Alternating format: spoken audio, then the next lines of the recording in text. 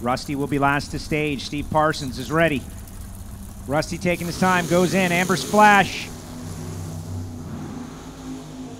Another Jegs All Stars special. Down the track they go, 1,320 feet later. Rusty Cook.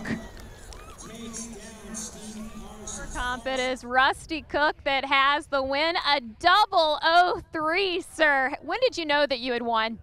Well, when I got to the end of the track, my win light came on on my side. That's when I knew, and it's it's an unbelievable feeling to do this three times in a row. Uh, all I can say is praise God. Thanks for, to Ohio Crankshaft, Get them carburetors, Goodyear tires, Sunoco fuel.